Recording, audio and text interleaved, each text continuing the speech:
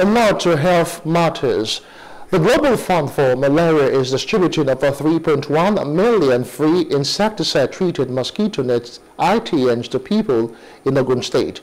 Project Director John Ocholi said this is a part of an effort to reduce the high rate of malaria in the country. Ocholi, who was speaking at the media event in the state capital, Abeokuta, said Nigeria is making progress in the fight against malaria.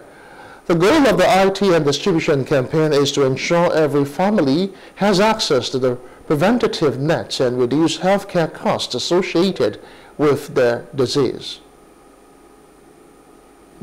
So for this campaign, Society for Family Health, supporting the Ogun State Ministry of Health and with support from Federal Ministry of Health and other partners, we plan to distribute about 3.1 million nets to households, yes, to every community in the state.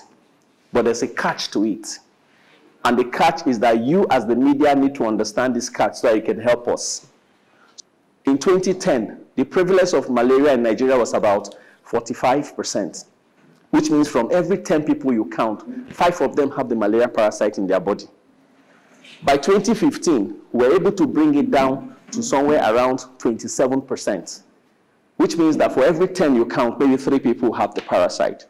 But at the last count, 2021, 2022, we're now seeing that we are getting close to like 9, 21, 22%, which means that from every 10 people you count, only two people will have the parasite. Now speaking on the distribution modalities, the Ogun State Malaria Elimination Program Project Manager Mrs. Olamide Adeyinka disclosed that the government would be engaging 14,000 personnel with over 1,400 distribution points across all the 20 local government areas of the state. These nets are already in the state and they are being moved as we speak to the local government areas where there are LGA stores. And from these LGA stores, they'll be moved to identified distribution points for distribution to beneficiaries. Uh, across the state, at the local government level, we have um, personnel that will be distributing.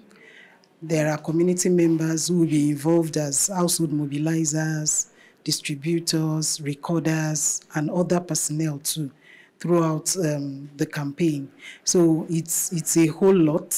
A lot of people will be involved. Over 14,000 personnel will be engaged across the state. There have been pockets of misinformation, though, and even still now there are informations that are not complete or not completely packed or not completely packaged for the beneficiaries.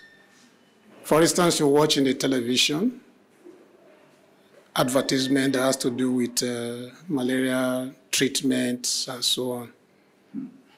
Um, what you often see is somebody break down with malaria and given maybe a particular choice of medicine to drink. I assure you, there's one key aspect of that information that is missing. How do you know it's malaria? Was not featured in that message. So you need to be tested there should be an aspect the media should encourage for the information to include testing when you feel the way you are feeling as shown in that advertisement, for instance. Hello, hope you enjoyed the news. Please do subscribe to our YouTube channel and don't forget to hit the notification button so you get notified about fresh news updates.